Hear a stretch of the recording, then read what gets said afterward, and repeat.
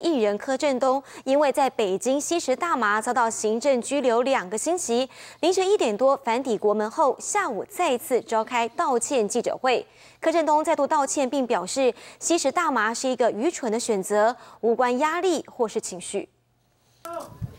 在经纪人柴智屏的陪同下，艺人柯震东现身台北道歉记者会。有别于北京记者会时声泪俱下，他平静的再次向所有人致歉。被问到获释的心情，柯震东说：“从北京回到台北的家，这段时间很慌张，不知所措，给了大家一个非常负面的教材，让所有支持者、家人和同事失望。他会改正自己的错误，重新开始。”其实没有所谓的。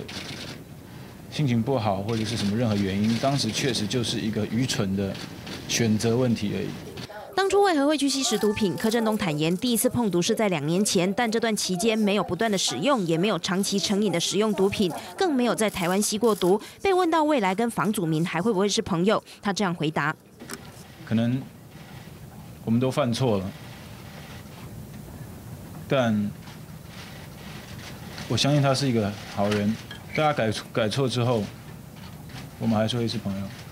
而外界质疑周五的北京记者会是不是有事先备稿？柯震东否认，并强调记者会上所说的话就是把在拘留所里十四天以来的情绪一一表达出来，并没有想太多。至于未来会先当兵还是继续完成学业，经纪公司说还会再讨论。记者吴雅瑜、应磊其他报道。